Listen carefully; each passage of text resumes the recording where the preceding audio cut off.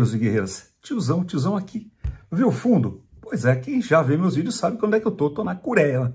E já que eu tô na Coreia, madrugada aqui, hora do almoço para vocês aí, simbora compartilhar, vamos embora dividir, vamos embora curtir, reclamar, concordar ou discordar. Mas principalmente vamos curtir nosso material. Ele é feito com muito amor, muito carinho e principalmente com muita verdade.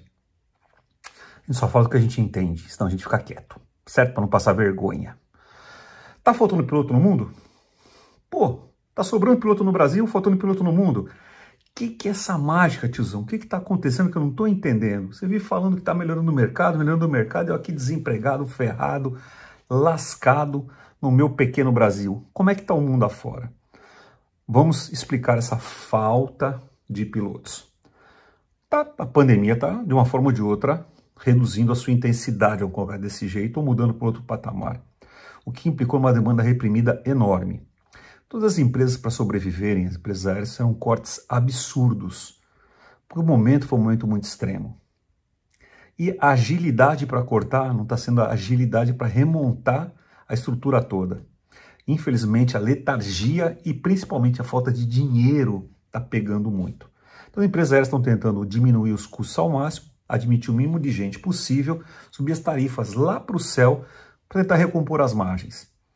Isso é certo? Não sei se é certo, mas é o que está acontecendo, né? Nos mercados onde você tem mais oferta, os impactos são menores. No, no, nos mercados que tem menos oferta, como o Brasil, esses impactos são muito aumentados, porque a concorrência é muito pequena. Então, gerenciar essas tarifas por conta de cada um. Aí nego debita no petróleo, debita no jogo do Corinthians, no vento, na mãe de Iná, onde quer que for.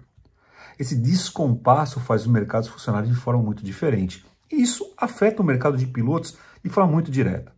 Vamos ser bem francos.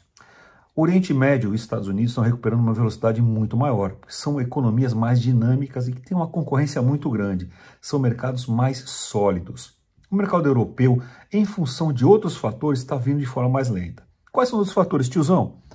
Europa é um monte de país junto aí com características diferentes, empresas com culturas diferentes, voando sobre o mesmo espaço aéreo e principalmente com liberdade de movimento. Diferente dos Estados Unidos, os Estados Unidos é americano de uma ponta para outra. Emirados nem se conta, porque são países muito pequenos. Então você não tem essa misturança toda. Então tem empresas aéreas na Europa que estão indo, países da Europa que estão mais sólidos, que as empresas aéreas recuperam um pouco mais rápido, e outros que estão arrastando o trem para trás.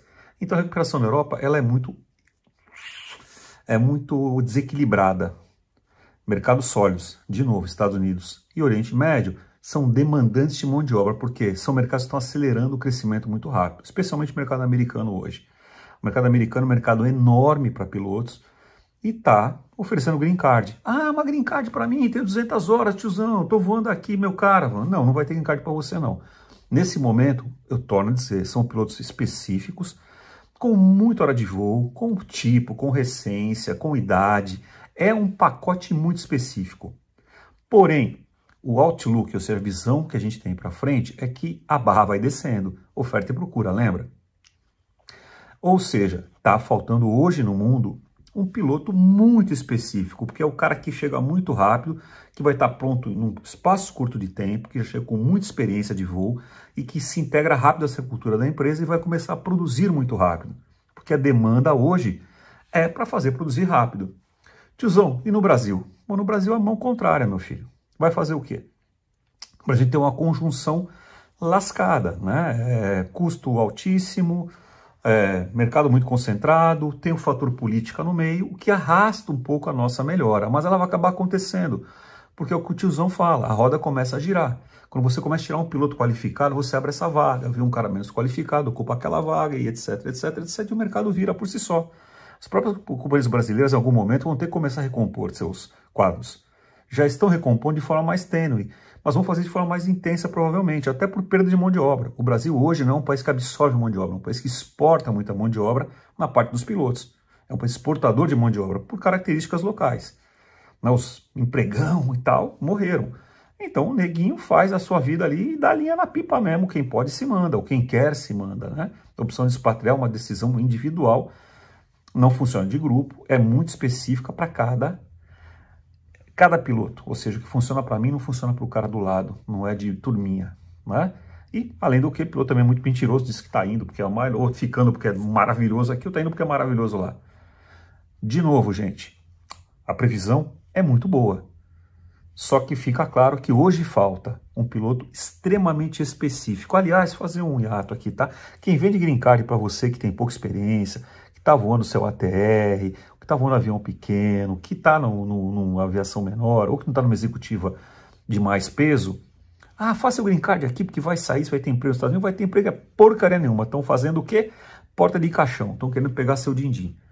Fica ligeiro, vê os requirements das empresas aéreas, vocês vão ver que os negócios não são tão simples assim. É, de novo, para o green card hoje, existe possibilidade? Claro que tem, tem um monte de gente voando, voando nos Estados Unidos. Não é um não, é um monte de gente mesmo. Mas, de novo, é um cara muito específico. Portanto, ó, respeita teu, dinheiro, teu dinheirinho, ó, não compra a conversa dos outros. Tiozão, sign off, se liga. Tchau.